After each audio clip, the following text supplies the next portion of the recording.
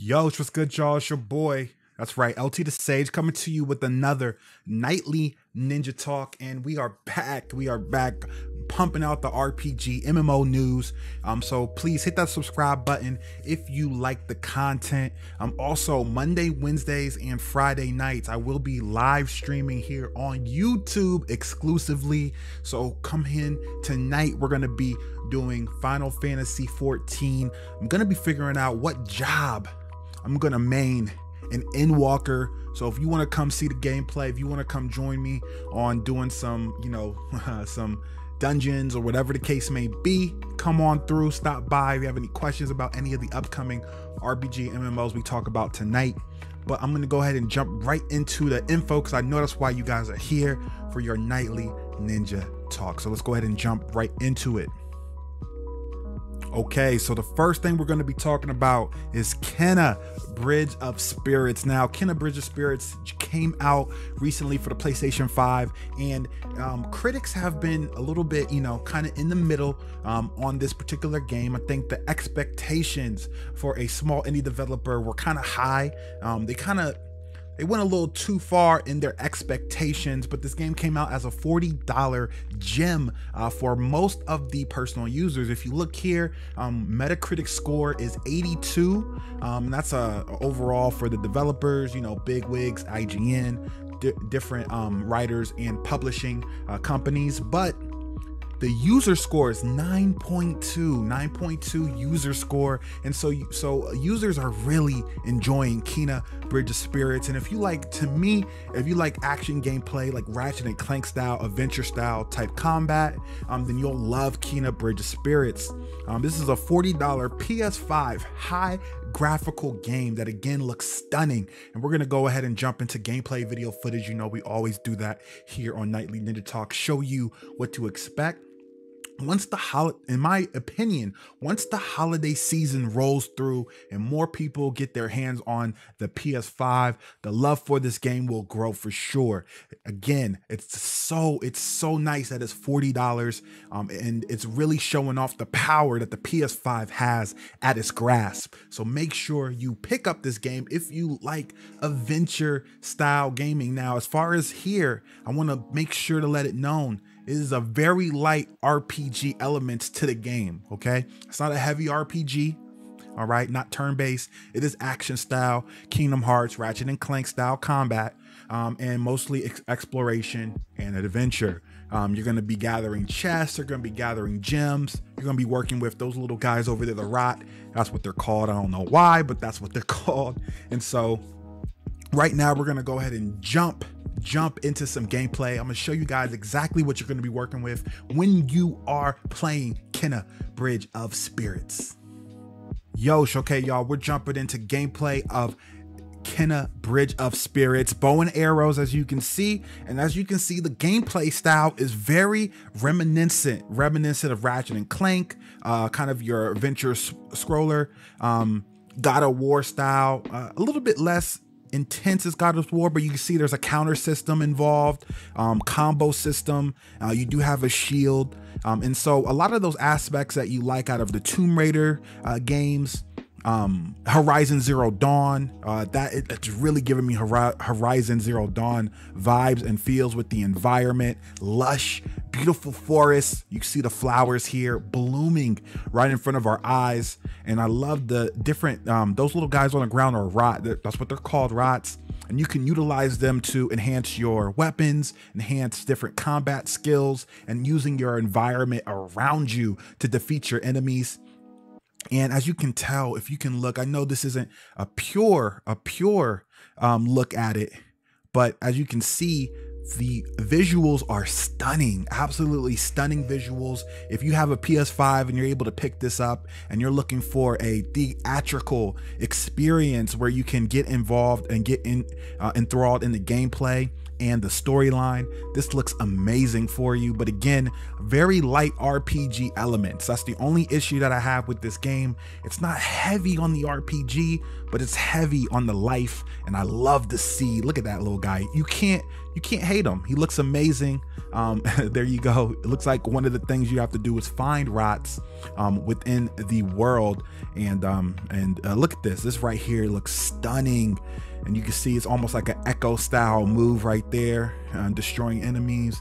And um, it's it looks beautiful. It looks absolutely stunning. So if you guys are interested in jumping into this game again it is 40 dollars only on ps5 and so if you have a ps5 you don't really got a lot of games to you don't really have a lot of games to pick from okay? So you might as well pick this one up. Enjoy your time in it and wait for some of those big those big old uh aaa studio games horizon zero dawn etc coming out early next year. This should tie you over till then. I hope you guys have a wonderful day. Peace actually not peace. I don't know why I said peace. We got more information. This isn't the only RPG news on the day. Um, we're gonna jump into some new world MMO RPG new world information. Let's go ahead and get right into it.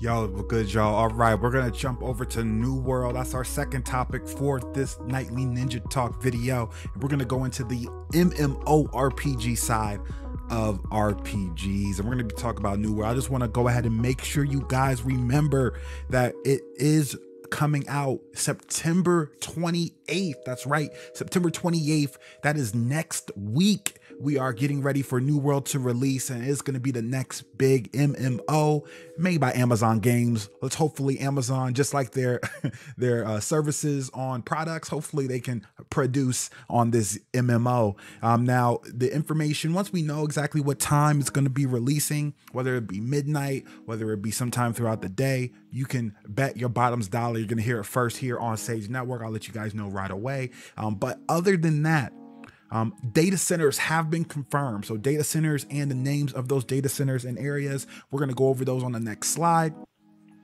and those names so you have that information readily available. I'll also put a timestamp down below in the description if you guys just want to see the data center information so you can skip right to it. Um, but one of the big topics coming out from New World coming out is the changes to the leveling system in PvP. Uh, a lot of talk on Reddit and YouTube has been spurring concerning the PvP leveling changes within New World. The game seems to be catering to individuals who can sink the most time into New World instead of skill. So if you don't know, the first beta that came out, um, I think it was the closed beta. Um, the leveling system and how the uh, uh, you know the abilities and everything worked level didn't matter as much. Skill mattered okay? So um you know being able to dodge using the right skills against the, your opponent's skills those were all of the things that mattered most. And so a lot of people loved the fact that people just can't sit there stack the best gear and win every single pvp match and fight. That made world pvp a lot more interesting because you can maybe fight someone that maybe is, you know, five to 10 levels higher than you if your skill level is at that point. You know what I'm saying? Um, and so uh, people were loving that.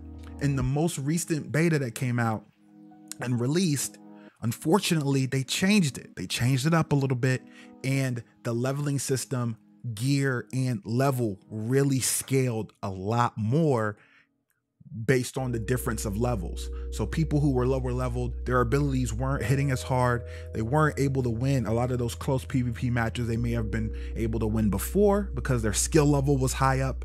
Um, they weren't winning those due to the skill and I mean to the ability gap that was created. And so this is really talking to those casual players now. A lot of us, we work full time, we come home, we want to chill, and a lot of us are very talented gamers. We just don't have the time like we used to to really play these games. And so the fact that they had something in there to kind of cater to people who had skill, learn the systems a lot better than most, just run around, do whatever they want is amazing. But the fact that they've changed it, a lot of people aren't happy about it, okay? And you can see it all over Reddit, you can see it all over YouTube. The videos are coming out. People are not happy. And my personal opinion is that there is certain there there is certain things that you really have to balance. And this is one of those because you also want to respect players' time investment. Okay. Um, people who do put time into your game and to some effect money, right? They pay for the game, should be no pay to win as long as they pay for the game, etc. But people who put time into your game, you want to give them something to feel uh, feel good about for putting that time and effort and energy into the game, whether they're good or bad at it. And so within PvP, um, it's it's there's a lot of elitism in PvP with certain players, um, but it's also kind of cool that they were given some cre- some some credence to skill. And so they really need to learn how to balance that out. Um, i think a 5 to 10 level gap of skill is okay but if you're like level 10 and someone's level 25 30 you shouldn't be winning those battles. There's just no reason for you to you shouldn't even be fighting those battles let alone you know winning pvp matches. Now 5 to 10 levels I just want to see that scaling gap. Like if you're 30 and someone's 40, I want to see it be, you know, you, you may be able to pull it out, right? If you have the skills to do so. Now, if you're 35 to 40, I really want to see that be okay. Like there's a five to 10 level gap in between skills. We'll see. I will definitely be trying out PvP and letting you know how I feel about the systems. Um, I don't know what weapons or not we're going to be trying out, but definitely stay tuned. We're going to be going over all New World information next week. Now, we're going to go ahead and jump over to the data centers. Now, the data centers are right here. I'm going to go ahead and remove my camera. Boom. There you go. And so, NA East um, those are all of the NA East servers. I mean, NA East is represented hard, and there's a lot of servers, man. There's a lot of servers. Amazon's buying up all the servers in North America. NA West has a lot less servers, but I think they're gonna have a smaller, you know, smaller kind of uh, area that they're covering. Australia servers are here, South America servers, as well as excuse me, Central Europe servers as well. Central Europe is very well. Uh, uh, they got a lot going on for all four of these. Um, and it looks like we're going to have plenty of servers. Now, the only issue that we're going to have to find out is if the capacity for each server, what is it? And, and if they're going to be ready for how many people are actually going to jump onto this game because a bunch of people are going to be playing New World and playing New World pretty hard until Final Fantasy comes out in November. So they're going to have a good month to month and a half to really to for stress testing on this because people are really going to be on this MMO hard. So we will see if these servers are enough. It, the list looks good so far, and I almost feel like there's too many servers, but I guess you can never have too many servers. So um, this is amazing, and I just wanted to put that out there, that information, so you guys have it, and you can make your decision with your with your friends and your family on where you guys are going to play next. And that is it for the New World info. And that is it. Those are the two main topics for your nightly Ninja Talks tonight. Remember, I will be streaming live here on YouTube tonight, playing Final Fantasy 14 getting my prep ready for Endwalker, trying to get my Bozja weapons and everything completed and done. Uh, but please follow me on all my so and any socials if you want more information on your RPG MMO news, anything that you guys want to see on the channel, please down below let me know. I would love any feedback on the content. And I want you guys to have a wonderful, beautiful, amazing day. And always, always always. I gotta turn the i gotta turn it on back for this one. Always follow your ninja way baby. I'll see you guys tomorrow on the next nightly ninja talk. Peace